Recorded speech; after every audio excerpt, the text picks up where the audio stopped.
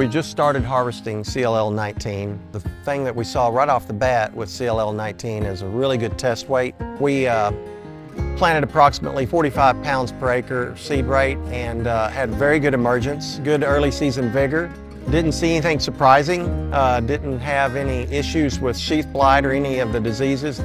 We had a lot of wind this year and we didn't see any uh, noticeable lodging. Uh, shorter height, I think, really helps that issue and uh, lodging seems to be a strong point for this variety.